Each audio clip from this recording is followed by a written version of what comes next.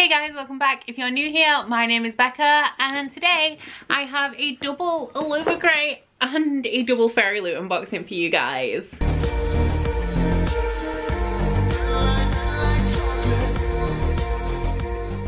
So these four have all arrived in the last week. I do still have a couple of February boxes that are unaccounted for. I'm expecting a February Abraxas box and the Goldsboro Science Fiction and Fantasy Fellowship box. So you can expect to see those in my next unboxing video, whenever that will be. I have also recently subscribed to the adult fairy loot, so that is going to be coming from next month as well. So you can expect to see some more hella big unboxings from me. But today I have four separate boxes to show to you guys. We have two fairy loots. These are the January January and the February monthly box. And if you guys are unfamiliar with Fairy Loot, they are a UK based young adult monthly fantasy subscription. And in each of these boxes, you'll get a brand new hardback book and a selection of bookish goodies. These were also sent to me by the team over at Fairy Loot to show to you guys. So thank you very much to Fairy Loot for that. I also have two Illumicrate unboxings, although these ones are slightly different. This one is the February box. Illumicrate are a UK based sci-fi and fantasy subscription box. They do monthly boxes, special editions, all of that good stuff but they also do a quarterly contemporary romance box called Afterlight which is what this one is. Now this one was sent to me by the team over at Illumicrate to show to you guys so thank you so much to Illumicrate for that. And this one I am a subscriber of. I pay for myself. I do have a discount code for Illumicrate as well. If at the end of this video you would like to get your hands on your own Illumicrate subscription you can enter the code Becca5 at checkout and that will get you a discount on a three or six month subscription. So let us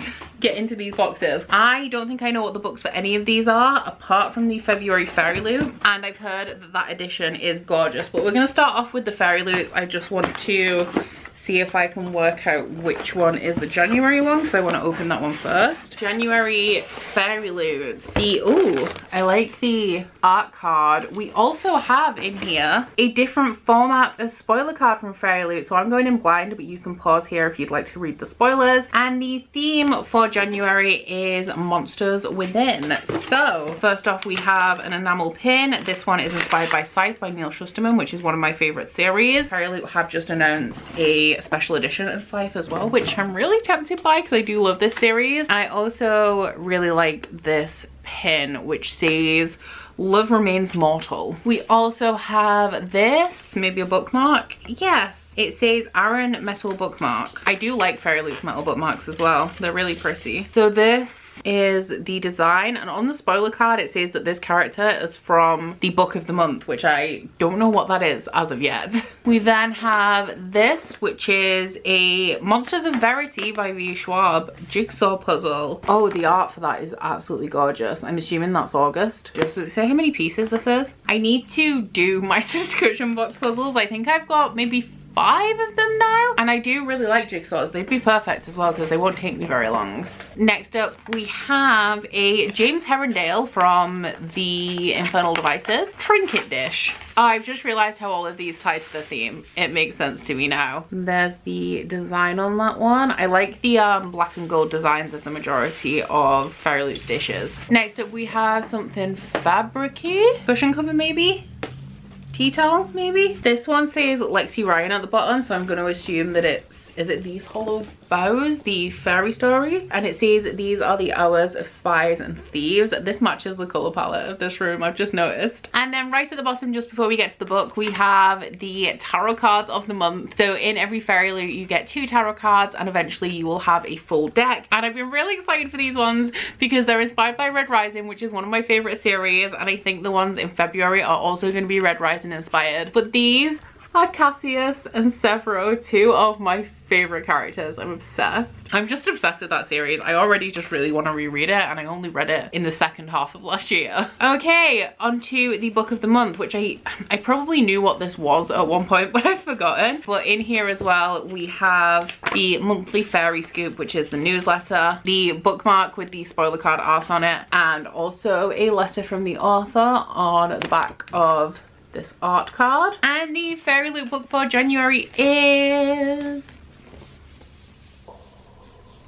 Only a Monster Can Kill a Hero. Is that what it's called? Oh no, it's called Only a Monster. I was gonna say that's a really long title. By Vanessa Len. Have not heard of this book. Actually, did somebody post a picture of this in my Patreon Discord last night? Very possibly. But this is really pretty. It says on the back, don't forget the rule. No one can know what we are, what you are. You must never tell anyone about monsters. As usual, this is a FairyLoot exclusive edition. The only difference in the cover, I think, is that it has a different colorway to the original. But I will overlay the original cover over the top so that you guys can see the difference. But in addition to that, we have stencil sprayed edges. We also have, these are really pretty. Illustrated end papers and they're different on both sides. We also have foiling on the naked hardcover. Really like the colour of that purple. And as usual, it's also signed by the author. So as you guys are aware, I don't know much about this, so I will read the inside dust jacket. In every story, there is a hero and a monster. It should have been the perfect summer. Sent to stay with her late mother's eccentric family in London, 16-year-old Joan is determined to enjoy herself. She loves her nerdy job at the historic Holland House, and when her super cute co-worker Nick asks her on a date, it feels like everything is falling into place. Then a good Samaritan attempt gone wrong sends Joan spinning through time and her life quickly begins to unravel. Her family aren't just eccentric, they're monsters with terrifying hidden powers. And Nick isn't just a cute boy, he's a legendary monster slayer who will do anything to bring them down. As she battles Nick, Joan is forced to work out the beautiful and ruthless Aaron Oliver, heir to a monster family that hates her own. She'll have to embrace her own monstrousness if she is to save herself and her family, because in this story, she is not the hero. Interesting. I do hope I enjoy this. It's giving me slight um, Monsters of Verity vibes just with the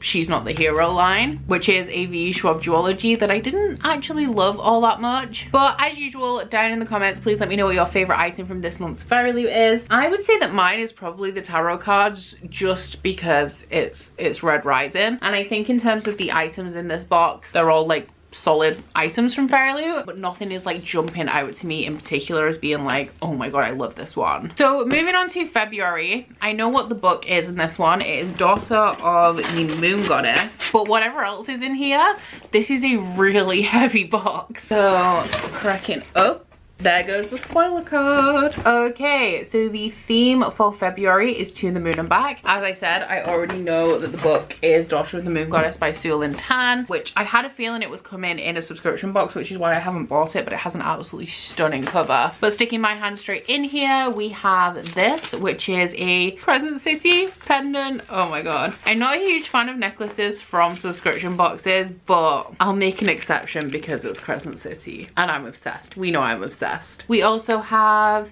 a pair of socks. These ones are inspired by the Starless Sea by Erin Morgenstern and they have a key pattern on them. We now have a fabric item which is a tote bag which I think is inspired by Daughter of the Moon Goddess. Yeah, it says a Moon Goddess tote bag inspired by the book of the month. The colours on here are interesting because the book has like a really pastely toned cover but it's pretty and I have a ton of tote bags from subscription boxes. They're not my favourite items because I have so many but I will say they do always come in handy and I always grab them whenever I'm going anywhere. Tucked down the side here it seems we have a set of bookends which is why this box is so heavy. These ones aren't inspired by anything they're just just celestial themed that also tied together but if I line them up like this I think I can show you guys without detaching them. They're really pretty and I have quite a few sets of bookends, can't lie, but they always come in handy because I'm always putting books in places and need something to hold them up. So a very welcome item. Then right down in the bottom of the box we have the tarot cards which are Darrow and Mustang as is the King and Queen of Pentacles. Oh my god. I love these so much. And then the final item is a art print inspired by Wicked Fox by Kat Cho. Okay, so I've heard so many amazing things about this book. I've seen people saying it's the most beautiful edition of a book that they've ever seen. So I am intrigued, but in here we have a letter from the author on an art print as usual. We have the bookmark and the fairy scoop. What's the theme for next month? Threads of Fate. And it is for fans of Circe, the Raven Boys, Raybearer and the book of the month, whatever that is. I don't think I know what the March book is. Is that the right way around? Nope.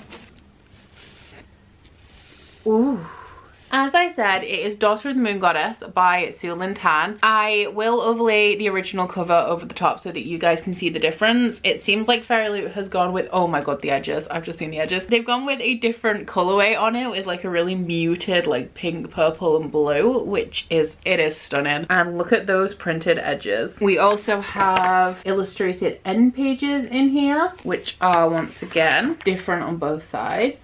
And under the dust jacket, oh, we have some foiling, which is it's a lot more simple, I would say, or like smaller than what Fairy really do, but it is really pretty. And as usual, signed by the author. So I was gonna buy a copy of this book because I've heard really good things about it, but I, I don't actually know what it's about. I think it has a romance in it. That's all I can tell you. So the dust jacket says, there are many legends about my mother. Raised on the moon, Xing Yin was unaware she was being hidden from the celestial emperor who exiled her mother for stealing the elixir of immortality. But when her magic flares and Xing Yin's existence is discovered, she is forced to flee her home, leaving her mother behind. Alone, powerless and afraid, Yin makes her way to the celestial kingdom, a land of wonder and secrets. In disguise, she trains alongside the emperor's son, mastering archery and magic despite the passion which flames between them. To rescue her mother, Xing Yin embarks on a quest, confronting legendary creatures and vicious enemies. But when forbidden magic threatens the kingdom, Xing Yin must challenge the ruthless emperor, leaving her torn between losing all she loves or plunging the realm into chaos. Inspired by the legend of Chang'e the moon goddess, this captivating debut weaves Chinese mythology into a sweeping adventure of love and family, immortals and magic. Interesting. Sounds good. And yeah, it is a really, really gorgeous edition. Favorite item from this box I do look at those. I do really like the book, but my favorite item and the one that I'm probably gonna get the most use out of, which is like immediately useful to me, is the bookends. I know exactly where I'm gonna put those. They're going on top of my romance bookshelf upstairs where I keep my um, hardback romances because they're just like balanced up there and they keep leaning sideways. Moving on to the February Illumicrate. The theme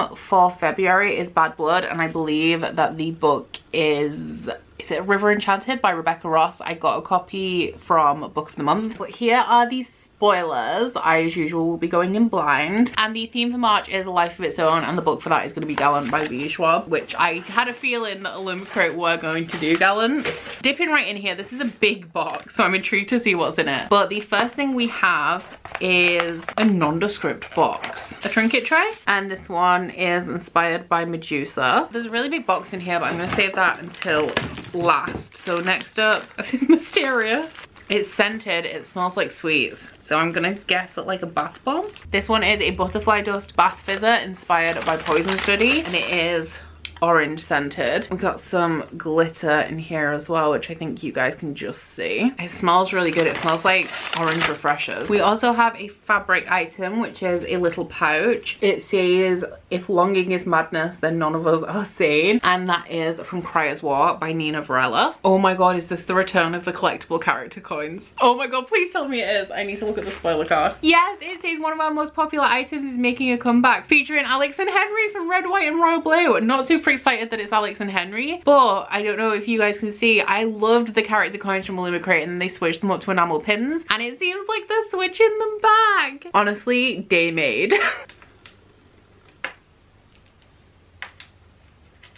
honestly like i'm so thrilled i'm so thrilled about that okay last one is this big old whatever it is. Oh, it's a um, plastic straw cup thing. I make iced lattes in these. And this one says, is it Lsel Station? Inspired by a memory called Empire. And then finally, we are onto the book, which as I said, I think is A River Enchanted. I'm excited to see this edition because I like the UK edition more than the US. So I think I'm gonna like this one more than the Book of the Month one. And this will be the edition that I'm keeping. Oh, it's got pretty edges on it.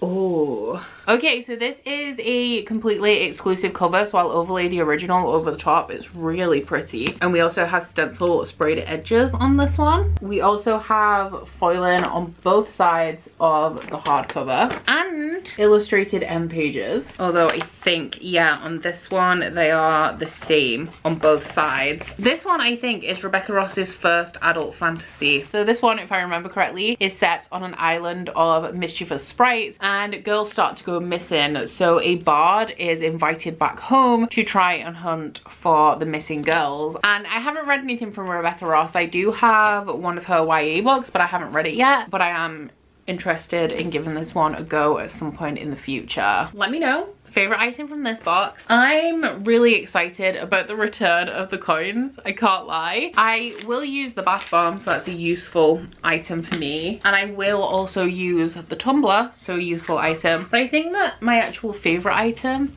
is the book because I do really like this cover. And then finally we just have the Afterlight which is tiny. So Afterlight is a contemporary romance quarterly subscription from Illumicrate where you don't get fandom items you just get like a couple of like useful self-care items in here here are spoilers if you guys would like to read them. There's something scented in here because this piece of paper smells good. So first off we have this little bag which says Luna and Wild bloom in the moonlight. Interesting. Is this where the scent is coming it's hard to tell because when there's scented items in boxes the smell contaminates everything so you can't track it down. Oh no it is from this what else is in here? This is so cute! I don't know what everything is. Okay you also get 20 percent off your first order at lunar and wild which is cool. But in here we have this little card that says i am worthy of love and it has a moon on the back. We also have this little moon wax smell which is where the smell is coming from. Smells it's very floral, which isn't my usual, but it does smell good. And it is shaped like a crescent moon. I recently got myself an electric wax warmer as well, so I can actually use this. And then we have this little roll of paper. Oh, this is long. It's like a little self-care kit, like a, like a little spiritual healing kit. This is really cute because as well as that we also have teeny tiny little rose quartz in here. It says for love wax melt and affirmation kit. Cozy up during the long winter nights with our wax melts including a rose quartz tumblestone which symbolizes love. I really like that. And then our other item in here is a tote bag again and the quote on here is from Sarah Williams and it says, though my soul may set in darkness, it will rise in perfect light. I have loved the stars too fondly to be fearful of the night. And then the last thing in here is the book which feels like a little hardback and this one is Delilah Doesn't Care by Ashley Herring Blake. I did not, I've read two Ashley Herring Blake books. I did not know that this existed. Oh, and it's Delilah Green Doesn't Care, not just Delilah Doesn't Care. It is also signed by the author and has red sprayed edges. Oh no, they're orange actually. This is also an exclusive cover to Illumicrate, so I will, of course, overlay the original over the top. But I'm really excited to read this. So let's see what the synopsis says. Delilah Green swore she would never go back to Bright Falls. Nothing is there for her but memories of a lonely childhood. Her life now is in New York with her photography career finally gaining steam and her bed never empty. Sure, it's a different woman every night, but that's just fine with her. When Delilah's estranged stepsister pressures her into photographing her wedding, Delilah finds herself back in Bright Falls once more. She plans to breeze in and out, but then she sees Claire Sutherland, her stepsister's stuck-up bestie, and decides that maybe there's some fun and a little retribution to be had after all. As a busy single mother, Claire depends upon a life without surprises, and Delilah Green is an unwelcome surprise at first. But when they're forced together during the many wedding preparations, Claire isn't sure she has the strength to resist Delilah's charms. Even worse, she's starting to think she doesn't want to. I mean, Delilah is hot. I also would not resist her charms. so yeah, I think that this might be my favorite Afterlight. I mean, the reason I subscribed to this is because I wanted a romance subscription and the fact that it's quarterly isn't overwhelming. So the items are just like an additional extra for me, I guess, but I do really like this. And I'm actually gonna have a look into this company because I got the 20% off discount code and see what else they have. So there you have it. Those were all of my unboxings. Where are my books? I've got a nice little stack of very pretty books here. But um, thank you so much to Illumicrate and Fairy Loot for sending me the boxes that they sent to me to show to you guys. And if you would like to check out any of these boxes, I will put a link in my description box to their websites and all of their social media. But aside from that, guys, please don't forget to like this video if you liked it and subscribe if you wanna. If you head to my description box, you'll find a link to my Goodreads, Instagram, Twitter if you'd like to follow me on any of those, as well as a link to my Bookish Candle website, the Instagram for that, and a 10% off discount code. But that's it from me today, guys. Bye! Oh, you bite your friend like chocolate.